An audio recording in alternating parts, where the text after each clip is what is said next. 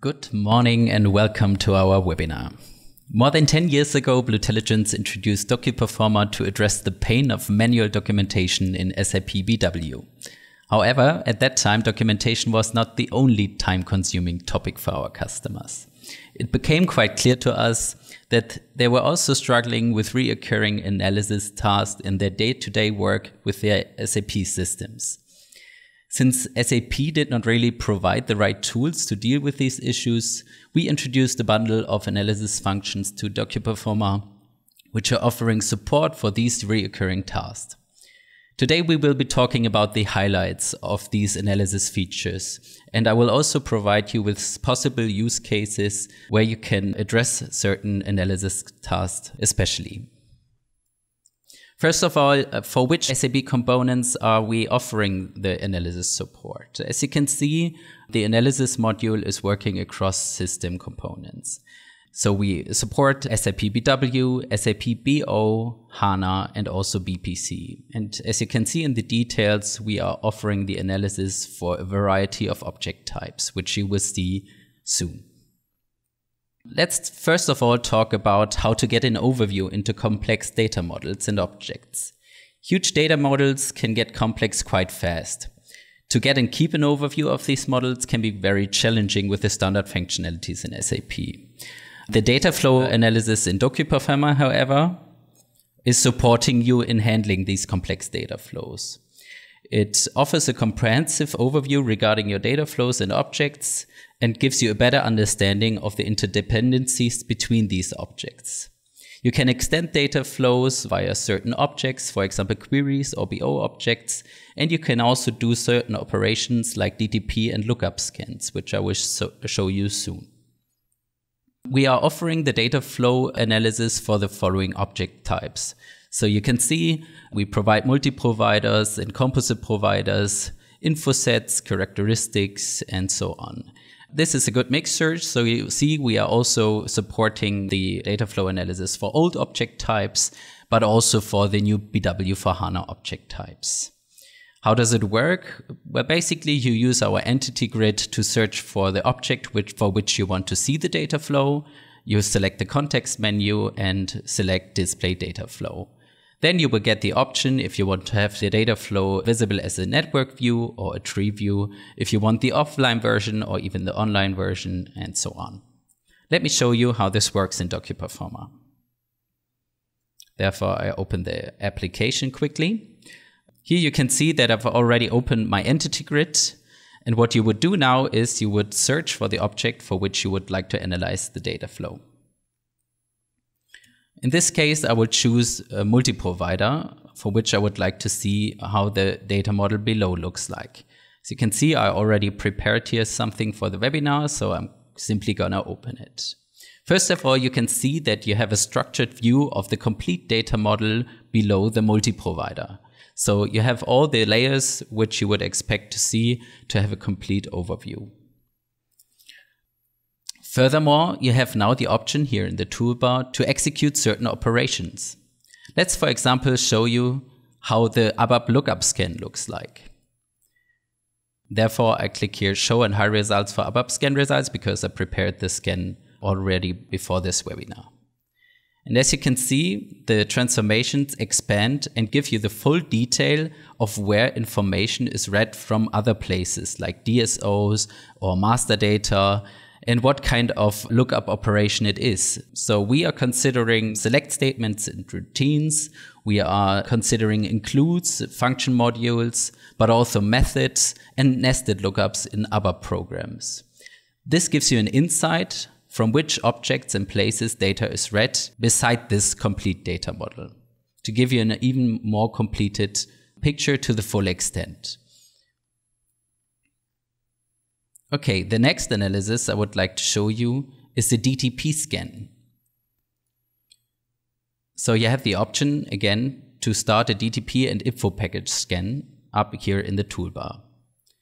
The results of this scan can show you where in the data flow data is filtered.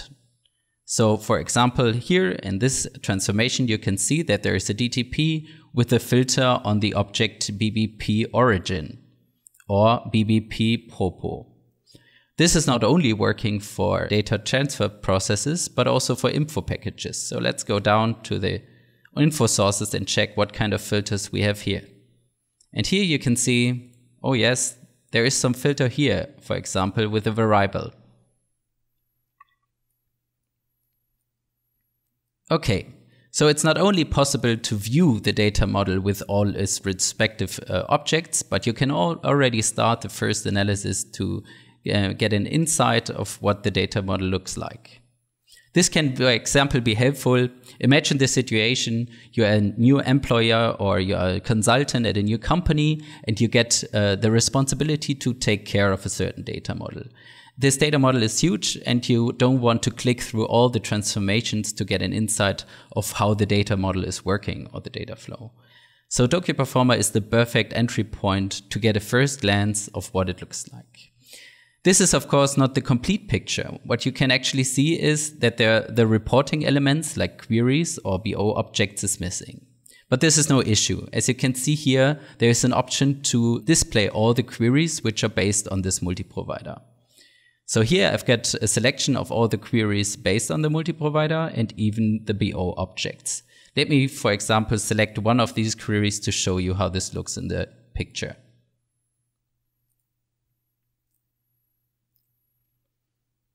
The tool is now selecting the query and also displaying all dependent BO objects to this query, which is quite nice because now you have the data model and cross application objects, which are also depending here. So you get even a fuller picture of what the complete data model is about. Okay, if this might be too much information to focus, we also offer you the possibility to deselect certain parts of the data flow. So you could, for example, say, I'm not really interested into the right part of this data flow. Let's, for example, say you are not very interested in what's ever below InfoCube RSR B000.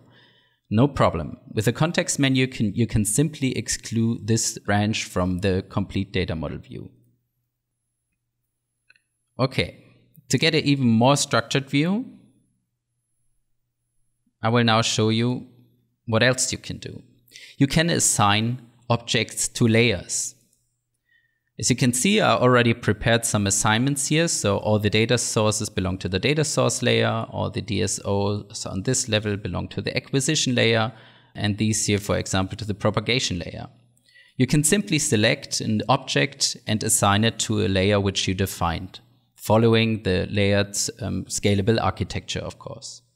So let's, for example, say this is the virtualization layer and you can see the object is immediately added and visually highlighted belonging to this layer.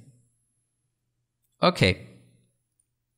Now, let's say you got a good overview of this data model, but now you want to have a deeper look into single objects. Therefore, I will include one, uh, one more time the query above the multi-provider, and I will show you how you can jump into single objects to analyze them further. With the context menu on the query, I can simply say analyze, and show me please the analysis of this object. The Docuperformer Performer is now selecting all the technical details of this query, for example, and is listing it in a structured way. So you can see the filters used in the query, you can see the sheet definition with its three characteristics, rows, columns, the key figures, and also the variables. But this is not all. If I extend to the lowest level, I can even see the formulas of calculated key figures. So you easily get a first insight of a single object at one glance by a simple uh, click. From here on, it's also possible to compare this object to other systems. If you have, for example, a three system landscape with a development system and test system and productive system, you could now be uh, selecting here the system which you would like to compare this object to. In case there is a difference between the productive state of this object and the development state of this object. Okay. Let's go back to the presentation for now. So, what you just saw was, of course, a data model in BW, but this is not the only thing we support. So with DocuPerformer, it's also possible to have the same view on HANA entities like calculation views. So here you would see all dependent objects of the calculation view down to the lowest tables. And also this is possible for ABAP CDS data definitions. Even here you can structure the objects with a layered structure and you can do analysis as you are used to from BW. The object analysis, which you just saw for the query, is also, of course, possible for other objects in BW, but also possible for objects in BO or in HANA. Okay, that's it about getting an overview into complex data models. Let's now talk about impact and mapping analysis. Mapping analysis functions in DocuPerformer help you to understand where certain information comes from and how information is processed in the data flow. Results of the mapping analysis can, for example, help to answer the following questions. Where does my data come from? Where in the data flow are changes to the data happening? Why do certain values not match the expected in the reporting layer? Are filters applied to my data somewhere? Impact analysis, on the other hand, are used to understand the impact of changes which you are doing to objects. Imagine, for example, you have a change request coming from business, which includes a change of a critical, very central object in your SAP BW. Here, before you take any actions, you would like to get the clear, full picture which other objects are depending on this change. Let me show you how this can look like in DocuPerformer. So first of all, I would like to show you how the mapping analysis in DocuPerformer can look like. Therefore, I will open again a data model of a HANA Composite provider.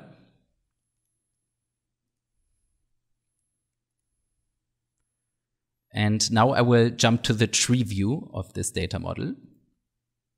And in the tree view, I have the option to execute a mapping analysis of an info object of this composite provider. So I click on mapping analysis and I get a full list of dimensions and key figures which are included in this composite provider. Let's for now maybe focus on the key figure zero order value. Imagine, for example, the use case that a business employer came with the approach to you that he has the feeling that the key figure is not correct in the reporting and he would like to understand from which source this key figure is delivered and how it is mapped through the data model below the query. So now I will select this key figure and I will start the mapping analysis down to the data source by clicking Start. On the right hand side, you can see the results of this analysis. And you can see I have mappings here, here, and here. So it seems that the information of this key figure is coming from just one single data source, which is to LIS02SCL in the source system T90. First of all, it comes from the field in the data source BWEFFWR, and it's mapped to the info object zero order value. Then there is another direct assignment here in this transformation, and we have a third direct assignment with the aggregation sum in the last transformation up to the propagation layer con for contract management. And this is where the composite provider takes its zero order value. So with just a simple click, you could answer the question to business from which source the value comes from and how it is processed throughout the data flow. Okay. Let me show you how impact analysis in DocuPerformer can look like. Imagine, for example, the case that you are responsible for a certain change on a DSO. And you would like to understand what impact this change has on other objects. For sure, you all are familiar with the where used analysis which the SAP is providing in the standard. But this is, for example, not considering the usage of the DSO tables in some coding. DocuPerformer, however, is able to do so. Let me show you how this works. So let's say we are planning to change this ADSO HAP 003. And now we would like to understand where the tables of these DSOs are used in coding somewhere. Therefore, I use my analysis context menu and I start the where used analysis. Here I have the option to check the usage in ABAP coding, meaning Performer is scanning all coding of your SAP BW and is checking if there are some tables of this DSO called somewhere. We can see, okay, a direct usage in SAP BW objects might not be the case here, but in coding, I can see two transformations which have actual coding in the routines and which are accessing the tables of this DSO. To get detailed information about the coding, I can even select show source code. And here I can see that there is one table of the DSO used in the coding. Okay, let me show you how this works across systems. Let's, for example, say we are obligated to change a query and we would like to understand which BO objects are depending on this query and might be evaluated after the change of the query. Therefore, I search for my query, which I would like to analyze.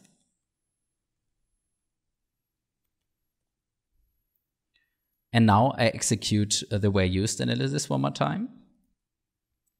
And now I select the option that I want to consider BO objects from Design Studio, Analysis for Office, Lumira, and WebI, and I start my analysis.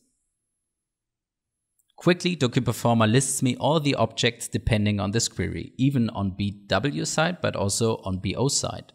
So I get a list of all Design Studio Lumira objects, Analysis for Office objects, which are depending on this query and might need to be re-evaluated after the change of the query. Okay, a similar functionality is the functionality matrix of usage info provider object in queries. Imagine, for example, you want to reduce an info provider by one field, and you would like to make sure that no query is impacted by this change. What you can do is you can use DocuPerformer to start this analysis. Then you execute this analysis function for a certain info provider, which you would like to analyze. Let's, for example, take our multi-provider from before. I can now select this entity and it's first of all listing me all queries based on this object. And now I can select which queries I would like to compare here. I start the analysis and DocuPerformer is creating an Excel document which is showing me which fields, dimensions, key figures of this multi-provider are used in which query. So here on the left side in column A and B, you have all dimensions and key figures of the multi-provider. In the columns D, E, F, you now have the queries which I previously selected. And in the matrix itself, I have an entry as soon as a dimension or key figure is used by a query.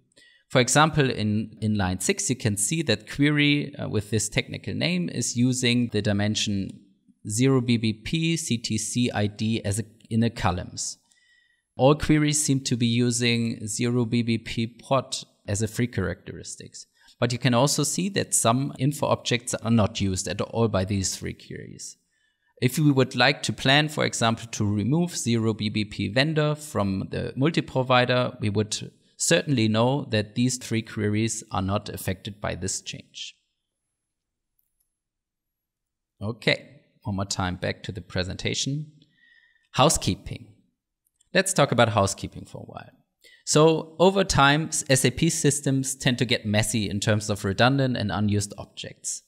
This can have a negative impact on performance and storage of your system. Thus, there is occasionally the need to clean up the system. And from our customers, we know that this is a quite time consuming and annoying task. And if you don't have the proper tools, it's even more time consuming. DocuPerformer luckily supports you in these tasks by providing analysis functions which help you to determine these redundant and useless objects.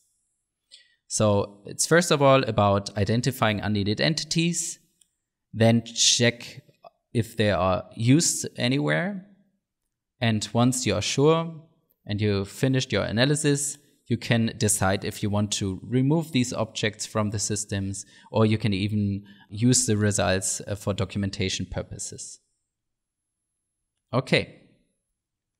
Let me show you how these functionalities work in DocuPerformer. First of all, I would like to show you the analysis function data loads and usages. This functionality shows you, for example, for queries, at what time they were last used. This might be an indicator which queries are getting useless in the system. Let me execute, for example, this functionality for this bunch of queries. Let's start the analysis. Now you can see that quite fast, DocuPerformer delivered me a list of all these queries with their date of the last usage of a user. Here you can see that most of the queries were used last time in 2019. However, there are some which were last used in 2017. And this might be an indicator that this query is not really used by business users, end users anymore. So why not evaluate if this can actually be removed from BW? The same analysis can of course be executed for info providers and here you can even analyze when the last time the data was updated in the info providers. Okay, um, another analysis which is, which is supporting you in housekeeping is the analysis list info provider without uh, usage and data flows. So are there info providers in my system which are actually not used anywhere in data flows or data models? DocuPerformer is analyzing all the objects it is preparing you a list of all objects with their object type and confirming to you that uh, these objects are not used anywhere in data models. So these should be reconsidered if they are actually needed in the system or if they can be removed. Okay, let's continue. Often it's also quite convenient to know what inactive entities are in your system. Imagine, for example, your productive system. Inactive objects are always a risk to the daily business. So whenever objects are inactive, certain processes are not running fluently anymore. So you have an interest of getting an overview what objects are actually inactive in your system. And therefore providing information to the developers, which then can take action to activate these objects again. Also for this functionality, DocuPerformer doesn't really take a long time. Here you can see the results are already prepared in a list and again you can filter these lists by object type, by technical name and so on. And even by the last user who changed the object. So you have immediately someone you can address to activate the object again. Okay, one last housekeeping functionality I would like to show you is the functionality show entities with identical technical name. This analysis is providing you objects which have actually the same identical name. This can happen, for example, for queries and query elements. Imagine, for example, that someone was creating a query straight in the productive system because he didn't want to go the proper way from development system through test system into the productive system. And later on, the same object is created in the development system and transported to the productive system. Then the technical name of these two queries is identical, however, the UID is different. To get an insight of this in straight in the SAP system is quite hard. With DocuPerformer, just one click is giving you a list of all these cases uh, which are messing up your system. Okay. So this was the last housekeeping functionality. And this is it about our webinar today. That's it from my side. I would like to thank you for your attention and see you next time. Bye bye.